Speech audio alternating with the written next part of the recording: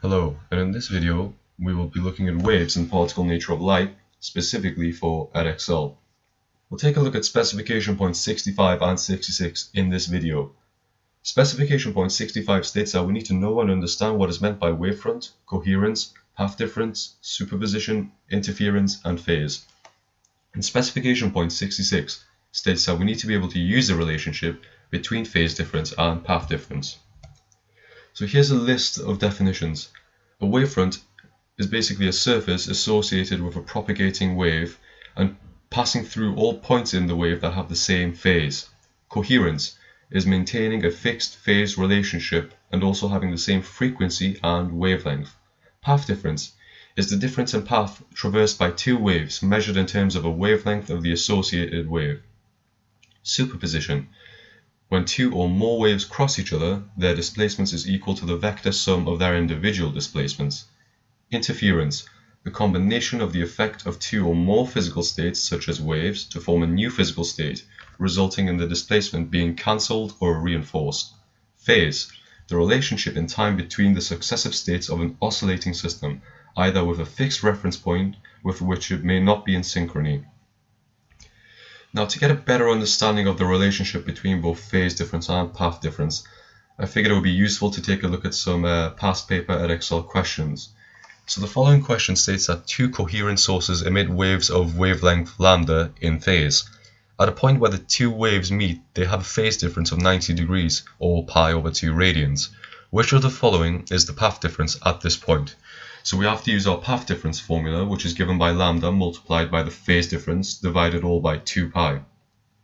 Since the two coherent sources emit waves of wavelength lambda, we just substitute in lambda, so in this case we just keep lambda as it is, and then we multiply lambda by the phase difference, which is pi over 2 radians, so it's lambda times pi over 2 radians divided all by 2 pi.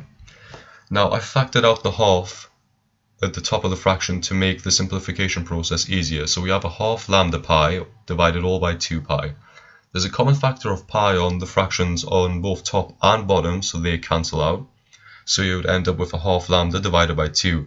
And to simplify the numbers down even further, we need to just take um, a half and uh, have a look at what it is in terms of a decimal, which is 0.5, and divided by 2, which is 0.25 and 0.25 expresses a fraction is a quarter, so the path difference is a quarter lambda.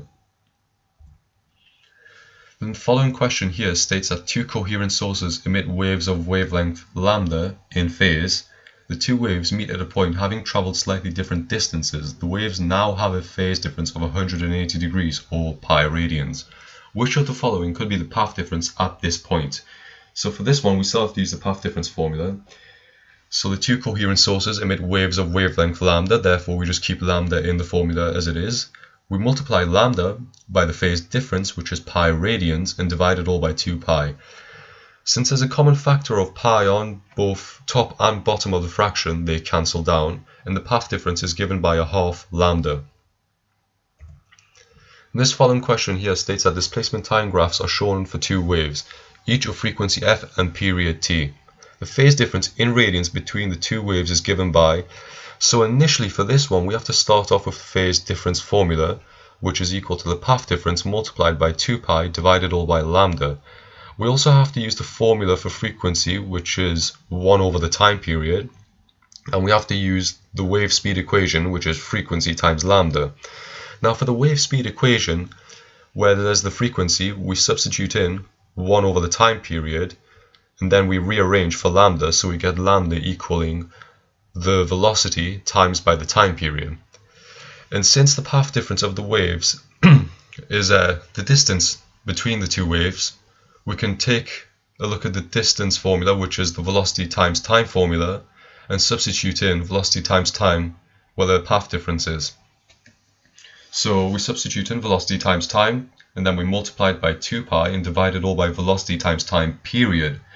Since there's a common factor of velocity on both top and bottom of the fraction, they cancel down and you would end up with the phase difference as being t 2 pi over the time period. And to kind of rearrange that and clean that up, you would end up with 2 pi t all over the time period. Thank you all for watching. I hope this video has made sense and cleared any questions anyone's had about path difference and phase difference. Thank you all for watching and goodbye.